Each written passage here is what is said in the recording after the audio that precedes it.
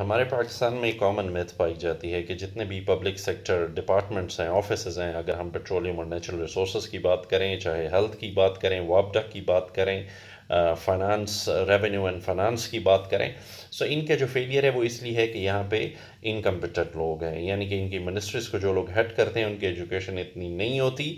اور ان ادارے، یہ ادارے جو ہے وہ تباہ ہو جاتے ہیں، اگر پلاننگ اینڈ ڈیولپمنٹ اور اس طرح کے جو بھی ادارے ہیں ہم ان کی بات کریں۔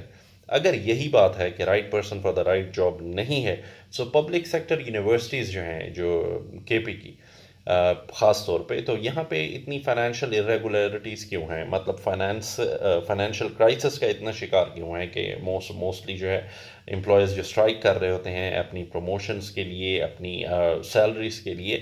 سو کیونکہ ان اداروں کو جو لوگ ہیڈ کر رہے ہوتے ہیں، ان کا ایجوکیشنل پروفائل جو ہے وہ کافی اسٹرانگ ہوتا ہے۔ موسٹلی فورن کے پی ایچ ڈی ڈاکٹرز ہوتے ہیں، ان کا ایڈمنسٹریٹو ایکسپیرینس کافی زیادہ ہوتا ہے۔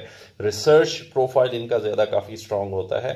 سو پھر بھی یہاں پہ جو ہے مطلب یہ ساری پرابلمز رہتی ہیں۔ اور اگر ہم یہ کہیں کہ ڈیسیجن میکنگ پاور ان کے پہاں نہیں ہوتی، تو جو بھی سینٹ سنڈیکیٹ باڈیز کے ممبرز ہوتے ہیں، ان کے پروفائل بھی یہی ہوتے ہیں۔ پی ایچ ڈی ڈاکٹرز ہوتے ہیں دے آر پروفیسرز ان کے ریسرچ ایکسپوجر سارا کچھ یعنی کہ ایکسٹریم لیول کا ہوتا ہے۔ سو دا پوائنٹ از کہ کہیں نہ کہیں ہمارے ہاں جو it's not always about the right person for the right job ہمارے ہاں جو وہ سینس آف اونرشپ کا ایک ایلیمنٹ ہے، وہ نہیں رہا. آنیسٹی کا ایلیمنٹ نہیں رہا. کرپشن کو، چاہے وہ مورل ہو فائنینشیل ہو، ہم اس کو کرپشن سمجھتے ہی نہیں ہیں اور کہیں نہ کہیں یہ جو ہے ہماری رگوں میں گھس گئی ہے.